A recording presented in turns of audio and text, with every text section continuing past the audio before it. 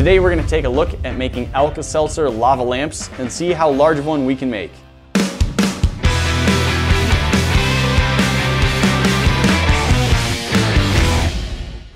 Several people have recently sent us videos of people making what look like lava lamps. Kind of, But yeah. there's no wax, there's no heat source, there's not actually any light involved, but you still get the same up and down of colors flowing and bubbling, and it looks pretty cool. And it also looks very simple. The ingredients are water, cooking oil, food coloring, and an Alka-Seltzer tablet. Seems simple enough, we thought we would give it a shot. But we also want to scale it up larger because that's what we do. Here's the basic idea. Several people have recently sent us videos of making a sort of lava lamp using water, oil, food coloring, and an Alka-Seltzer tablet. It looked like a lot of fun, so we're gonna try it out, and then we're gonna try and scale it up. Got a few different ideas. First, we wanna try it in the small scale. Just see we the can- way other people Yeah, really get a hang of it. It's about the ratio of food coloring and water and how much Alka-Seltzer you need, and just see how it all works out. Let's figure it out. This right here is Alka-Seltzer. It's a brand name. I'm sure there's knockoff versions of similar things. And it's designed to help with a few different ailments. It says it's good for relief of heartburn, upset stomach, acid indigestion, headache, and body ache. If you look at the active ingredients, it has citric acid. It says anhydrous citric acid. It has aspirin, sodium bicarbonate, which is baking soda, and those are what it says are the main active ingredients. Sodium bicarbonate, I suppose, would help, could help with heartburn and upset stomach and acid indigestion, neutralizes if your acid's doing too much. And then it does have aspirin in it, which can be a painkiller. But the, the most entertaining aspect of Alka-Seltzer is that with the sodium bicarbonate and the citric acid, when they hit water, it foams and bubbles a lot. We need some water in a cup, yes. Okay, All right, I've got some water. I have a cup. That looks probably pretty good. Okie dokie. Now we add oil. Oil is less dense than water, so I'll pour it in and you see that it can like flow down into the water, but it then floats back up to the top. All right, now we add a few drops of food coloring. Now the food coloring is water based and so it should sink down through the oil, but I think it then has kind of a oil coating around it and it doesn't do a good job of mixing into the water. You can see that it's just kind of sitting there. Little red bubbles. I think that's enough. That's plenty. Yeah. All right, they're just kind of chilling. And an Alka-Seltzer tablet. Ooh, it pulled a lot of red down with it as it plopped in. Oh, but it's working. And we're, we're getting the bubbling volcano effect. I think we need less water and more I think we oil. need less Alka-Seltzer too. Yeah, we're gonna have to break that up. It's all We've got like foaming up so much in one spot. Very it does look like a lava lamp, but. I think you're right. I think the most important is less water and more oil, so it has more space Mm-hmm. to travel through. It looks good. Mm-hmm. Lava lampy. But given the fact that lava lamps are proprietary blends and nobody knows how to make them, pretty cool.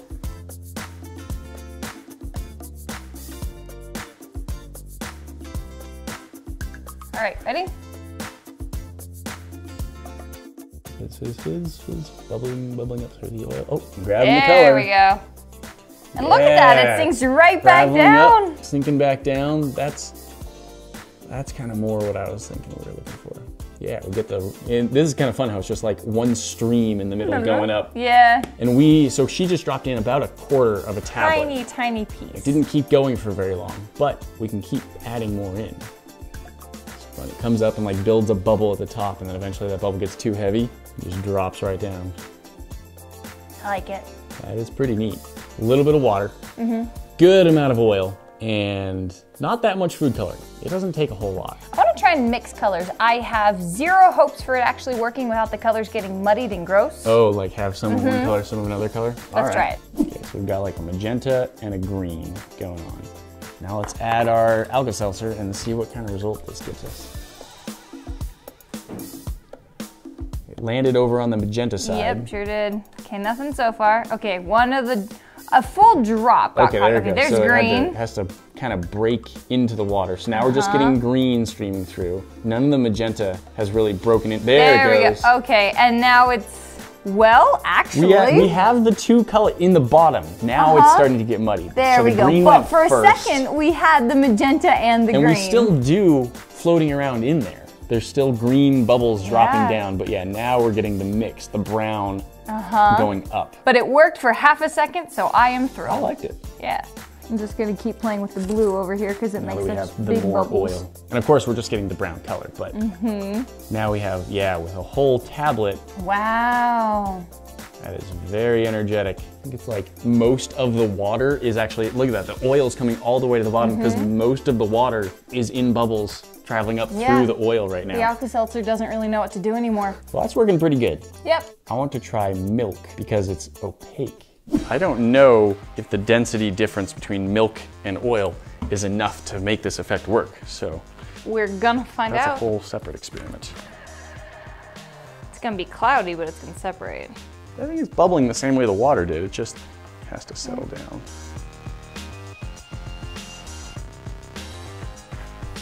Whole half tablet. Here goes. Hits the milk. Does Alka-Seltzer react with milk?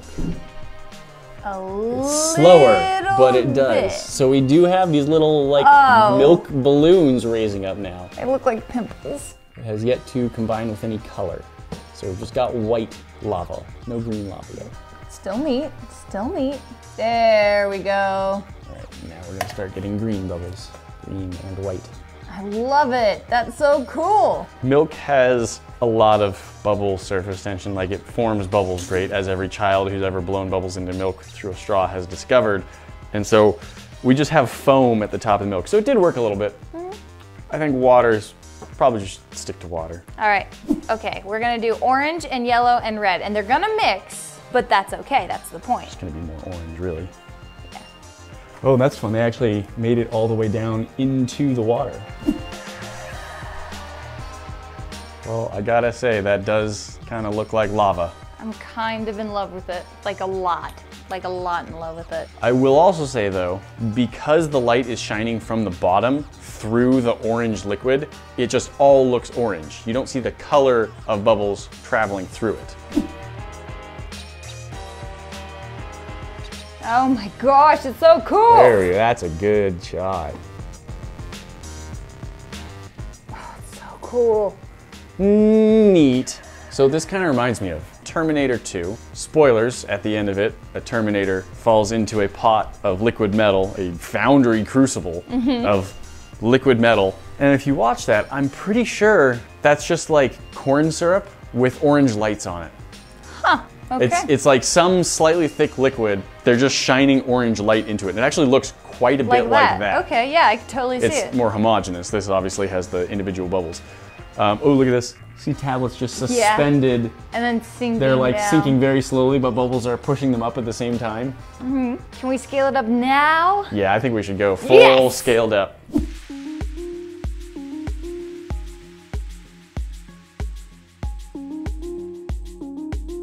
We've poured oil into the tank with the water, but we want to let some of the bubbles settle so we can see through it just a bit better. And while we're doing that, I had another quick test I wanted to try. We've got a cup with some water dyed blue and some oil on top of it, and I want to see what this does in a vacuum. If we get the pressure low enough to the point where water would be boiling, will it bubble up through the oil? Will the oil stop that from happening? Will the oil itself bubble? I just don't know. So it's pulling all of the little bubbles out of the oil. This is actually what gave me the idea is I thought, oh, I wish I could vacuum the whole tank to just pull those bubbles out. I can't. I don't have a seal that I can put onto it. But apparently it would work. It's pulling a lot of bubbles out. Oh, and now we're seeing some bubbles pull off of the surface and it's like tugging on the water just a little bit. There is a whoa. It suddenly yes, it boils. it boils very, very excitedly. Oh boy. Well, that hit a point, and I think it just gets held down by the oil until it doesn't want to get held down anymore. Okay, well, that was cool. That was really fun to see. I had no idea what the result was going to be, and I was surprised when it hit, so that's my favorite kind of experiment. We've got our big tank, and we are going to do three colors. We're going to try and do green, blue, and purple. And of course, they will eventually mix, but hopefully, we'll get some zoned bubbling before that. Uh, and then we're just going to add about three tablets per zone. They'll move around, and it's not perfect, but I'm hoping this is going to work out well. Okay, three, two, one. Yep.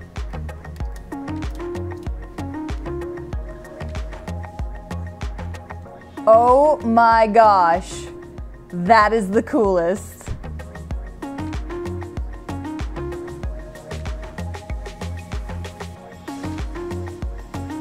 Starting to mix, but it still looks so good.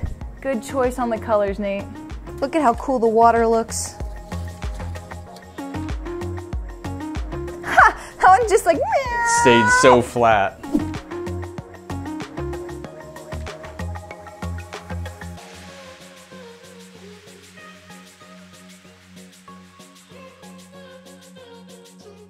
So that is what you get in a box of Alka-Seltzer once the wrapping's out. Go for it.